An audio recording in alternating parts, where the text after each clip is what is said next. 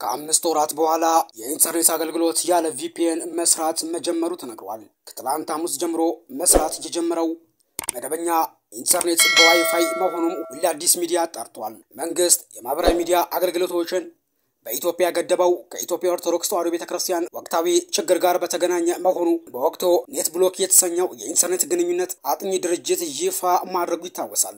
አገልግሎቱ የተቋረጠባቸው የማህበራዊ ሚዲያ ፌስቡክ፣ ቴሌግራም፣ ቲክቶክ እና ሜሴንጀር ሲሆንም አገልግሎቱ መቋረጡ የጀመረውም ከአርብ የካቲት 2 2015 ዓ ም ጀምሮ ምሽት ላይ ነበረም። በኢትዮጵያ ኦርቶዶክስ ተዋሕዶ ቤተ ክርስቲያን መከፋፈል ምክንያት በጸረ መንግስት ተቃውሞ በቀጠለበት ወቅት የማህበራዊ ሚዲያና የመልእክት መላላኪያ መድረኮች ፌስቡክ፣ ሜሴንጀር፣ ቲክቶክ እና ቴሌግራም መዘጋታቸው የኔት ብሎክ መረጃዎች ያሳያሉ።